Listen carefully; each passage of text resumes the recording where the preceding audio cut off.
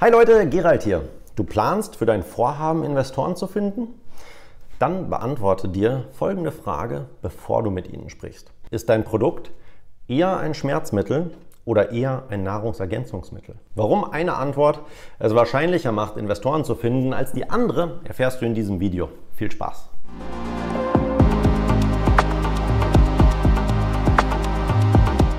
Woher weiß ich, dass eine Antwort attraktiver ist als die andere? Sowohl für unsere eigenen Projekte als auch für Unternehmen, denen wir mit unserer Expertise zur Seite standen, haben wir bereits erfolgreich Business Angels, Finanzierung und Investoren gefunden. Und in Gesprächen ist mir immer wieder aufgefallen, dass je nach Art des Investments die Grundmotivation zwar verschieden sein kann, aber im Endeffekt möchte die Person, die ihre Ressourcen dir zur Verfügung stellt, wissen, ob es sich um ein gutes Investment handelt oder nicht.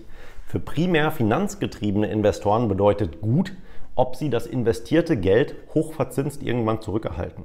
Um dies herauszufinden, ist eine beliebte Frage, ob es sich bei deinem Produkt eher um ein Schmerzmittel oder um Vitamine bzw. Nahrungsergänzungsmittel handelt.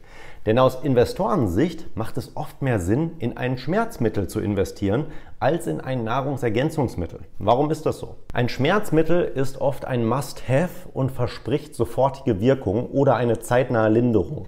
Dies macht den Verkauf besonders einfach. Ein Nahrungsergänzungsmittel hingegen ist ein Nice-to-Have und verspricht langfristige Verbesserungen oder Erhalt der aktuellen Situation. Das Problem, wenn man es weglässt, dann merkt man dies nicht unbedingt und dies kann auf teure Akquisekosten hindeuten und ist anspruchsvoller in der Positionierung. In beiden Kategorien kann man erfolgreich werden und manche Projekte sind als Vitamine gestartet und mittlerweile für viele ein Must-Have geworden. Denke hier mal zum Beispiel an Instagram oder soziale Medien im Allgemeinen. Diese Apps hast du vermutlich nicht ausprobiert, weil du damit ein akutes Problem in deinem Alltag lösen wolltest. Sie werden erst durch die erneute Benutzung Stück für Stück zum Schmerzmittel für ein Grundbedürfnis von uns. Sei es um unseren Wunsch nach Anerkennung oder Beliebtheit anzusprechen oder unsere Angst, etwas zu verpassen, zu lindern. Falls du es noch nicht kennst, ich habe in diesem Video hier mal detaillierter darüber gesprochen, wie diese Apps dabei vorgehen, um dich zu manipulieren.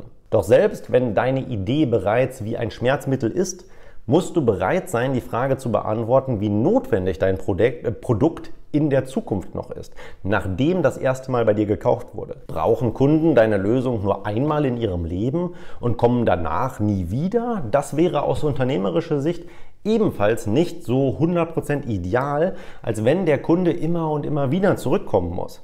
Er also in gewisser Weise süchtig nach deinem Dienst oder deinem Produkt wird.